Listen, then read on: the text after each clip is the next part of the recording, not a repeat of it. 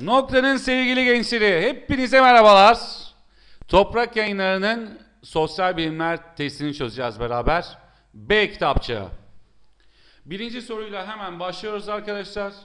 Birinci sorumuzda diyor ki, e, aşağıdaki haritada Büyük Millet Meclisi'ne karşı çıkarılan ayaklanmalar verilmiştir. Daha herhalde bu konuya bayağı var diye düşünüyorum. Sarı olarak gösterilen bölge azınlıkların çıkardığı ayaklanmalar Ermeniler. Yukarısı Doğu Karadeniz Rumlar. Şu bölge yine Ermenilerin çıkardığı ayaklanma. Kuvayi milliyeci olup sonradan ayaklananlar, düzenli orduya katılmak istemeyip ayaklanma çıkartanlar olarak göstermiş şuradaki turuncuları. Değil mi? Ee, aslında biz de rengine göre tik atabiliriz. Şöyle yapabiliriz. Evet bu turuncular. Kuvayi milliye yanlısı olup sonradan ayaklananlar.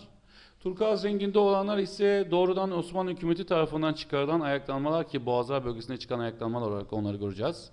Ve yine fuşya rengi mi diyelim nasıl şöyle yapalım herhalde. Osmanlı hükümeti ve itilaf devletlerinin kışkırtmasıyla çıkan ayaklanmalar diye göstermiş. Ee, haritanın birçok yerinde onlardan bol bol görmekteyiz. Diyor ki hangisini söyleyemezsin? Yani bu şekillere bakarak, haritaya da bakarak hangisini söyleyemezsin diye sorduğunda Valla birinci soruda düzenli ordu birlikleriyle ayaklanmalara müdahale edildiği. Yani şimdi Rumların Karadeniz'de zararlı faaliyet yaptığını buldum. Bazı milis birlikleri yani Kuvayi Milliye'nin diğer adı biliyorsun. Birçok farklı ismi var zaten Kuvayi Milliye'nin. Meclisin aleyhinde hareket ettiğini de söyleyebilirim. Ama düzenli ordu birlikleriyle ayaklanmalara müdahale ettiğini burada yani haritayı okuyarak göremiyorum. Düşmanın ilerleyişini kolaylaştıracak şartlar ortaya çıkmış mıdır? Vallahi TBMM'ye karşı isyan çıkarsa düşmanın ilerleyişi kolaylaşacaktır. Bu düşmanın işine yarar. İstanbul yönetimi işgalcilerle ortak hareket ettiği. Şimdi nerede onu gördüm? Şurada bakın. Çok enteresan bir şey o. Şunu hemen rengini değiştireyim. Bakın Osmanlı hükümeti ve itilaf devletlerinin kışkırttığı diyor ya Edirne şıkkını şurada görebilirsin. Görüyor musun? Heh. Gözünden bu kaçmış olabilir. Ona dikkat et. Benim için problem olmaz. Birinci sorunun cevabı nedir? Birinci sorunun cevabı Ceyhan'dır arkadaşlarım. Ee, ama dediğim gibi konuyu iyi dinlemek lazım, iyi bakmak lazım. Ee, ya dikkat gerçekten okurken dikkat lazım arkadaşlarım. Göreceğiz yani. Evet ikinci soruya geçelim hemen. Şunu da silelim kalmasın burada. Heh, iyi. İkinci soruya bakalım. İkinci soruda diyor ki Cumhuriyetçilik ilkesinin bazı özellikleri şunlardır. E bildiğiniz Atatürkçülük ve ilkeleriyle ilgili bir soru. Umarım, umarım, umarım herkes doğru yapmıştır. Arkadaşlar bir defa bakın baştan soru çözümünde öğrenin. Tamam daha önce defalarca söylüyorum ama bir inkılabın akla ve bilime dayanması laikliktir arkadaşım. Lütfen laiklik. Tamam Yani şunu artık ne olur aşalım. İşte bir şeyin laiklik olması için sadece din ve devlet işlerinin birbirinden ayrılması lazım. Hayır efendim yanlış. Ee, din ve vicdan özgürlüğü, akıl ve bilime dayanma, din ve devlet işlerinin birbirinden ayrılması bütün bunlar laiklikle ilgilidir. Lütfen. Lütfen artık öğrenelim. Hukukun akıla dayanması, eğitimin akla dayanması, bilimin akla dayanması bunlar laiklikle ilgilidir arkadaşlarım. Tamam? İkinci sorumuzda birinci şıkkımız laiklik olacak. Kişi, sınıf, zümre ve ayrımı gözetmeyen, kişi, sınıf ve zümre ayrımı gözetmeyen, insanlar arasında ayrım yapmayan ilkemiz hangisidir arkadaşlarım? Herkese eşit davranan ilkemiz hangisidir güzel arkadaşlarım? Halkçılıktır değil mi? Üçüncü öncülümüze geçelim. Ne diyor üçüncü öncülümüz? Bir de ona bakalım. Her alanda değişme ve gelişmeye dayanır. Bak kısıtlamamış. Her alanda değişim, her alanda gelişme, her alanda ilerleme değil mi? Hangi ilkeyle ilgilidir arkadaşlarım o? İnkılapçılıkla ilgilidir. E bu kapsamda baktığım zaman doğru şık, laiklik, halkçılık ve inkılapçılık olarak e, hangi şıkta? Denizli şıkkında verildiğini söyleyebilirim. Değil mi arkadaşlarım? Bu ikinci sorumuzun cevabı da Denizli. Burada akıl ve bilimsellikte lütfen hata yapmamış olalım. Hemen geçelim üçüncü sorumuza arkadaşlar.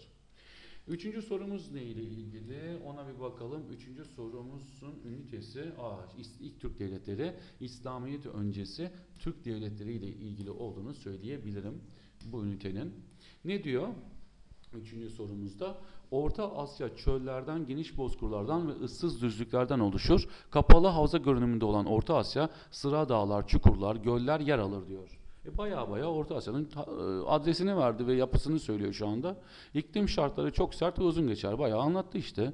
Bu koşulların Türklerin yaşantısına olan etkisi aşağıdakilerden hangisi yansıtmaz dedi. Lütfen dikkat. Yansıtmaz. Tamam Kalıcı yerleşmelerin kurulamaması. Bunlara dikkat ediyoruz değil mi sınavlarda? Kalıcı yerleşmelerin kurulamaması. Dirençli bir insan yapısının oluşması. Valla e, burada anlatılan paragrafı şöyle çözeyim istersen. Burada yaşayan insanlar göçebe yaşar. Göçebe yaşarsa kalıcı yerleşmelerin kurulamaması ortaya çıkar. Yani göçebe yaşayanlarda mimari gelişmez ki.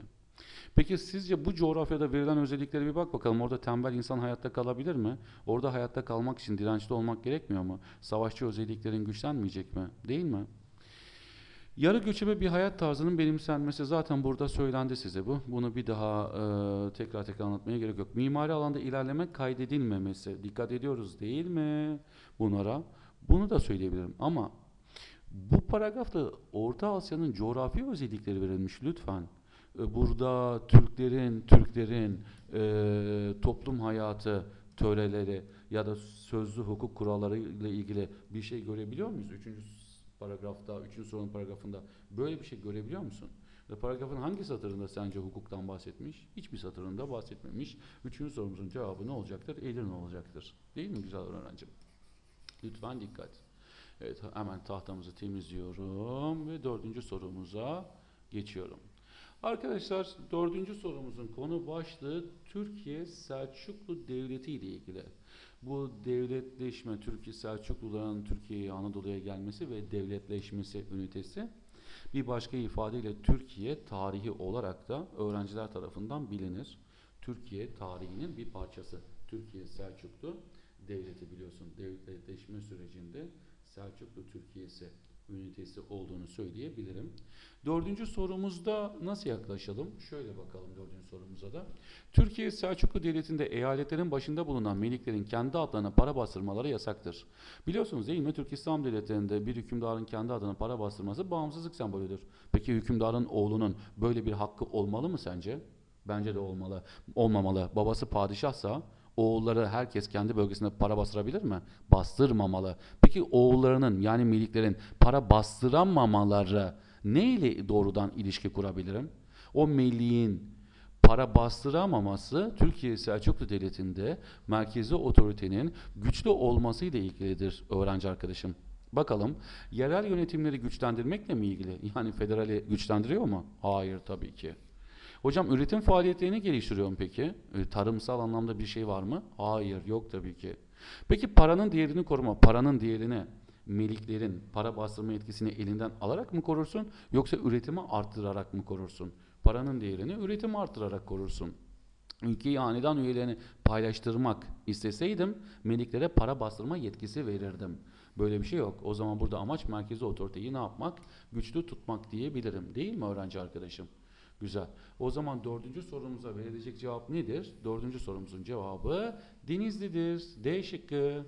Denizli şıkkımız doğru cevaptır. Merkezi otoriteyi güçlü tutmakla ilgili olduğunu söyleyebilirim. Beşe geçelim.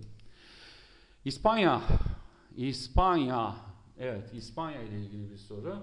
Diyor bunu ne yapabiliriz? Değişen dünya dengeleri karşısında Osmanlı ünitesi diyebiliriz. Efendim 17. yüzyıl Osmanlı diyebiliriz ünitesine. Okuyalım bakalım.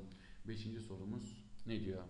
İspanya Osmanlı Devleti ile Akdeniz'e giriştiği rekabet sonucunda zayıflayınca Hollanda da İspanya'dan ayrılarak bağımsız bir konuma geldi.